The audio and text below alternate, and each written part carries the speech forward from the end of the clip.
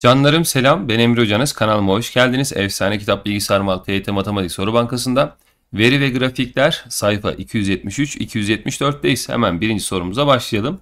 Her iki tarafında 0,2 santimlik fazlalık olan 10 santimlik kırmızı cetvel ile her iki tarafında 0,4 santimlik fazlalık olan 7 santimlik mavi cetvel yukarıdaki gibi gösterilmiştir. Cihan'ın boyunun uzunluğu 15 tane kırmızı renkli cetvelin şekildeki gibi üst üste konulmasıyla bulunabilmektedir. Buna göre Cihan'ın boyunun uzunluğu kaç tane mavi renkli cetvelin şekildeki gibi üst üste konulmasıyla bulunur. Şimdi canlarım biz burada ne yapacağız? Hemen 0,2 santimlik şurada kenarlarda boşluklar varmış. 0,2 0,2 topladığın zaman 0,4 yaptı mı yaptım. Ve bu cetvelin normal uzunluğu da 10 santim. O zaman toplamda bizim kırmızı cetvelimizin uzunluğu 10,4'tür. Tamam. Bunun gibi kaç tane varmış? 15 tane varmış. O zaman 10,4 yani 104 bölü 10 çarpı 15 yazdım. Şimdi geldik hemen biz bunu mavi cetvellerle kaç tane mavi cetvellerle ölçeriz demiş. X tane olsun. Peki bir tane mavi cetvelin uzunluğu 0,4 bu tarafta var 0,4 bu tarafta var. Topladığın zaman 0,8 yaptı. E, cetvelin uzunluğu da 7 olduğu için burası 7,8 yani 78 bölü 10 geldi mi geldi. Şimdi şuradaki ifadeler bir kez sadeleşti. Hemen 3'e böldük. Şurası 5 oldu. Burayı 3'e böldüğümüzde 26 oldu. 26 ile 104 sadeleşti. Burada 4 kaldı. 4 çarpı 5 dediğin değer x geldi. x dediğimiz ifade 20 çıktı. Demek ki 20 tane mavi cetvelle buradaki arkadaşın boyunu ölçebilirmişiz. Geçtik ikinci sorumuza. Hemen sorumuza bakalım. Ön yüzü sarı, arka yüzü kırmızı olan 6 tane kartın ön ve arka yüzlerin her birinde birden 12'ye kadar olan sayıların tamamı her yüzde sadece bir sayı olacak şekilde yazılıyor. Bu kartlardan 4 tanesinin görüntüsü aşağıda verilmiştir. Her bir kartın ön ve arka yüzlerinde yazan sayıların toplamı birbirine eşit olduğuna göre. Şimdi şuraya kadar bir duralım arkadaşlar. Ne yazacağız? Birden 12'ye kadar olan sayıların toplamına bir bakalım. Bunun anlamı neydi? Son terim çarpı 10'un bir fazlası bölü 2.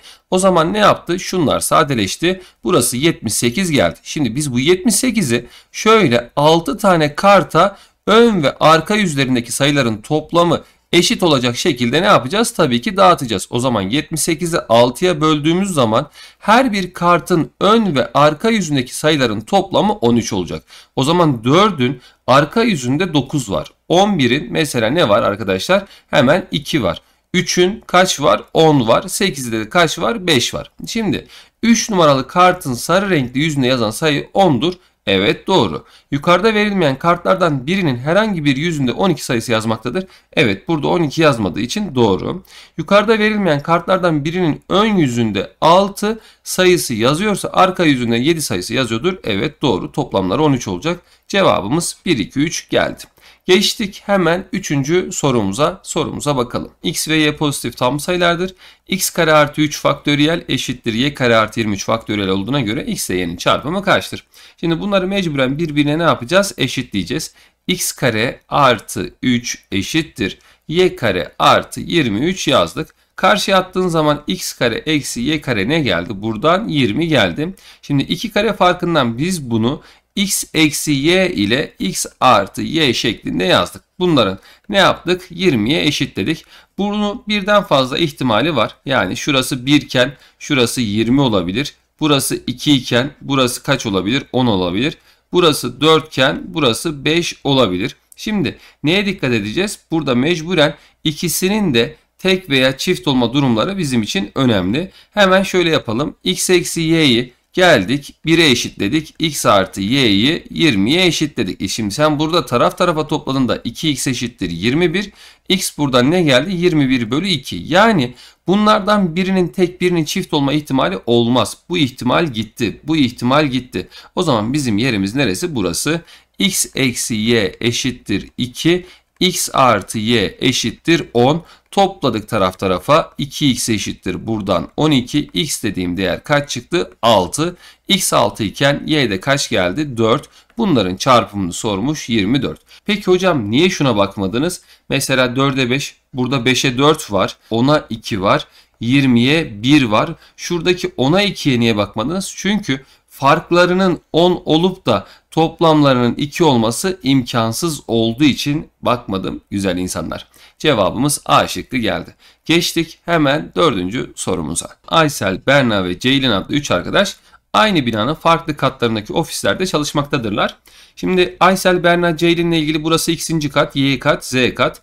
Ofislerin bulunduğu katların sayıları arasında aşağıdaki ifadeler bulunmaktaymış. Bunların çarpımı bir kez sıfırdan küçük, x ile z'nin toplamı da sıfıra eşit. E şimdi x ile z'nin toplamı sıfıra eşitse bu pozitifse bu negatiftir. Bu negatifse bu pozitiftir. Yani şöyle bir şey yapalım bak. Bunların bir kez kesinlikle zıt işaretli olduğunu biliyorum. O zaman x ile z'nin çarpımı bir kez negatif. E negatif bir sayıyla kimi çarparsan sıfırdan küçük olur? Tabii ki pozitifi. Yani y'nin işareti bir kez pozitif. x ile z'nin işaretleri de zıt işaretli. Bu artı iken bu eksi. Bu eksi iken bu artı şeklinde yorumlayabilirim. Buna göre Aysel, Berna ve Ceylin'den hangileri kesinlikle zemin katın üzerinde bir katla çalışmaktadır? Kesinlikle zemin katın üstünde çalışan, artıda çalışan Y yani Berna'dır. Cevabımız B şıkkı geldi. Geçtik 5. sorumuza. Şekildeki A kabında şeker oranı %20 olan 80 litre şekerli su, B kabında şeker oranı %40 olan 60 litre şekerli su vardır. A kabındaki karışımın bir kısmı, bir kısmı demiş. O zaman X litresini alalım. Şöyle aşağıya yüzdeyi yapıyorduk. Buraya gramajı yazıyorduk. Sonra geldik yazdık. B kabında oluşan ne yapmış? A kabındaki karışımın bir kısmı B kabına alındığında geldim şöyle B kabına koydum. Yüzdesi 40 ağırlığı 60 oluşan karışım ne oldu? 60 artı x gram oldu ve yüzdesi neymiş şeker yüzdesi 35 geldi. Buna göre A kabında kalan karışım kaç litredir diye sormuş bize. Ne yapacağız canlarım? Şunları çarpacağız. 20x artı 40 çarpı 60 eşittir 35 çarpı 60 artı x şeklinde yazdım. Yazdıktan sonra burada hemen isterseniz 5 ile sadeleştirebilirim. 5'e böldüm burası 7. 5'e böldüm burası 8. 5'e böldüm burası da 4. O zaman çarptık burası 4x artı 60 çarpı 8 480 eşittir 60 çarpı 7 420 artı 7x. Bunu buraya gönderdim. Burası kaç geldi? 60 geldi. Bunu buraya gönderdim. 3x 60 ise x dediğin değer 20 çıktı. Şimdi x ne yaptık? Biz bundan aldık. Geri kalan miktarı soruyor. 80'den 20'yi çıkarttığın zaman da 60 litre A kabında karışımda kalır. Cevabımız E şıkkı olur. Geçtik 6. sorumuza. Hemen sorumuza bakalım. A eksi B, B ve A artı B sayıları küçükten büyüğe doğru sıralanmış ardışık 3 tam sayıdır. Buna göre ifadelerinden hangileri doğrudur? Şimdi gelin o tam sayıları buraya bir yazalım. A eksi B. Sonra şuraya B yazdım. Buraya da A artı B'yi yazdım. Şimdi bunun bir fazlası mecburen burası olacak. B artı 1 dediğin ifade A artı B'ye eşit olacak. B'ler birbirini götürdü. A sayısı buradan 1 geldi mi? Geldi. Demek ki burası 1 eksi B. Şimdi bunun bir fazlası buna eşit olacak. 2 eksi B eşittir B. 2 eşittir 2b. B sayısı da kaç geldi? 1 geldi. E, B 1 ise A 1 ise şurası 0, burası 1, burası da 2 geldi. Şimdi A eksi B tek sayıdır. Hayır A eksi B 0 bu sayı çifttir. A ile B'nin çarpımı tek sayıdır. Evet A da 1, B de 1. Çarptığın zaman 1 olur. Çarpımları tektir. Doğru. Bunların kareleri farkı 1'in e, karesi 1, 1'in karesi 1. Farkını aldın 0. Tek sayıdır. Hayır yanlış çift. Cevabımız yalnız 2 geldi. Geçtik 7. sorumuza. Hemen sorumuza bakalım. Sebahat bir bidonda bulunan suyun tamamını her biri farklı saksılarda bulunan çiçekleri sulamak için kullanmıştır. Bununla ilgili olarak aşağıdakiler bilinmektedir. Her çiçeğe farklı miktarda su vermiştir. En çok su verdiği çiçek için tüm suyun 1 bölü 3'ünü kullanmıştır.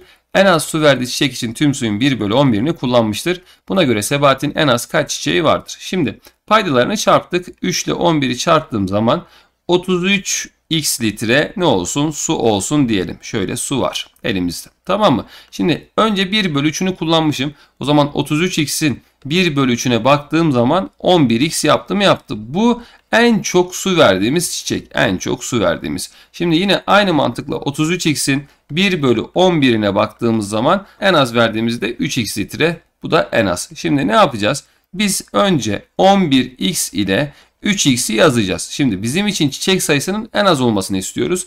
Bundan sonra 10x verelim bir tane çiçeğe. Topladığın zaman 21, 24 yaptı. 33 olması için bir tane de 9x verdiğimiz zaman ne yaptık? 33x litrenin hepsini kullandık. Her çiçeğe farklı miktarda su verdik. En çok bu. Diğerleri de birbirinden farklı. O zaman 4 tane çiçeğimiz vardır en az. Cevabımız C şıkkı geldi. Geçtik 8.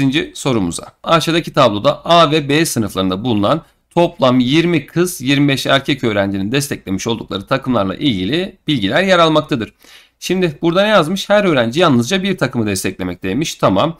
Beşiktaş'ı destekleyen öğrenci sayısı 13'müş. Şu an burada A sınıfında 2 kız, B sınıfında 4 kız Beşiktaş'ı destekliyor. Toplamda 6 kişi yaptı. 13 olması için şuranın x olsun. 13'e tamamlayan değer 6 ile kaçı topladığın zaman 7'yi topladığın zaman 13 yapar. Yani şu iki tane ifadenin toplamı 7 olacak.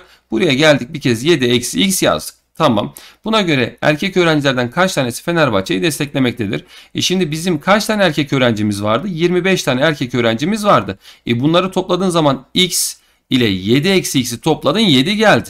Artı 4 3 daha yine 7 geldi ve bir de burada 6 var. E topladık burası 14 20 25 olması için buraya Fenerbahçe'ye kaç kişi yazacağız? B sınıfında erkek 5 kişi yazacağız. Erkek öğrencilerden kaç tanesi Fenerbahçe'yi destekliyor? 5 tane burada var. 4 tane de burada var. Topladığın zaman 9 kişi Fenerbahçe'yi destekler. Geçtik 9. sorumuza.